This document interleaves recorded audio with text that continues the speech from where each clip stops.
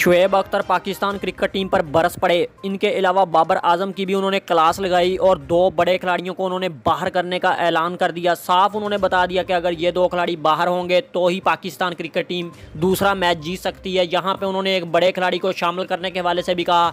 तमाम तर इसी वीडियो में मिलेंगी कि शुएब अख्तर ने पाकिस्तान क्रिकेट टीम की पहले मैच की परफॉर्मेंस पर क्या कहा। वीडियो में आगे बढ़ने से पहले अगर आप शुएब अख्तर के फ़ैन हैं तो कॉमेंट बॉक्स में शुएब अख्तर टाइप करें। इस वीडियो को लाइक करके चैनल को सब्सक्राइब कर लें ताकि मज़ीद आने वाली इंटरेस्टिंग वीडियो आप तक जल्द से जल्द पहुँच सकें। शुएब अख्तर ने वाजे बता दिया, पाकिस्तान ने जैसा कि आप जानते हैं, एक रन बनाए, एक सौ बयालीस रन का टारगेट दिया, जो कि इंग्लैंड क्रिकेट टीम के लिए आसान हदफ है। शुएब अख्तर ने अपने इंटरव्यू में वाजे बताया कि पाकिस्तान क्रिकेट टीम की बिल्कुल फ्लाप कारकर्दगी रही, जिसमें अमामुल हक सबसे पहले इनको फारग किया जाए।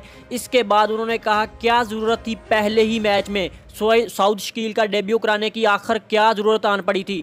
पाकिस्तान को अपनी पूरी टीम, अच्छी टीम उतारनी चाहिए मोहम्मद नवाज़ को क्यों शामिल नहीं किया गया, जबकि वो स्क्वाड में शामिल हैं? इसके अलावा उन्होंने कहा, अमामुल हक की जगह पे शर्जील खान को लाजमी जल्द से जल्द वनडे स्क्वाड में शामिल कर लेना चाहिए और दूसरे मैच में उन्हें खिलाना चाहिए। तो इस तरह आपकी क्या राय है? शर्जील खान को शामिल करना चाहिए या नहीं? आप लोगों ने अपनी कीमती राय कॉमेंट बॉक्स में देनी है।